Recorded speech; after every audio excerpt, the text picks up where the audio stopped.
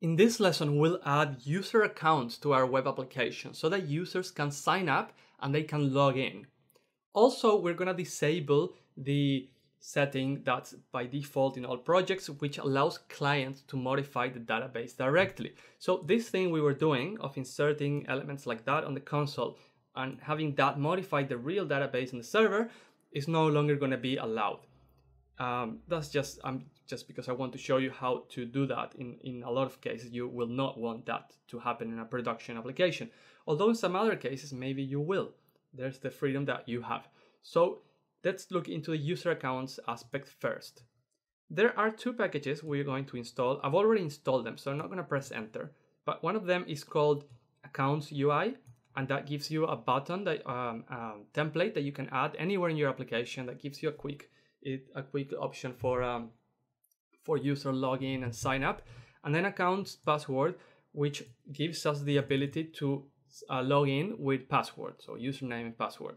There are other accounts um, packages available, uh, such as Facebook login and Twitter login and some others.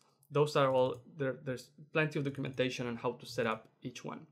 So you can add two packages like this, just in the same line, separated by space, and that will add the packages. So I've done that already. And once you do it, you can easily add this template called login buttons. So let's save that and see how that what that looks like. See how that gives me already this um, login thing. I already I was already logged in because I already installed it. But I'm gonna sign up and pretend I never did. This is what it's gonna look like in your end, on your end. So you can create a new account like hello one at example.com and one, two, three, four, five, six, seven. See, I'm now logged in. I can change but my password if I want to. I can I can sign out. So that's a very quick way of having a login functionality. Obviously, you can style this with CSS however you want, and you don't have to use the the accounts UI. You can use uh, sorry, you don't have to use the template like that. You can also render the form in our in, a, in directly each field if you want. So um, the other thing that I wanted to do in this lesson is disable this client-side ability to insert or modify data on the database. Let's take a look at what packages are currently installed by typing in Meteor list. That will show you all the packages that are currently installed in your application. So as you can see, we have the passwords and so we will talk about some, some other things here um, in the future, but it's important to know that all of this comes by default. The only things we added are these two and moment. So take a look at this one called insecure. This allows database write from the client. That's what we've been doing. So we can remove that by typing in meteor remove insecure. And now as you will see, once this refreshes, we are no longer able to enter stuff in the database in this manner.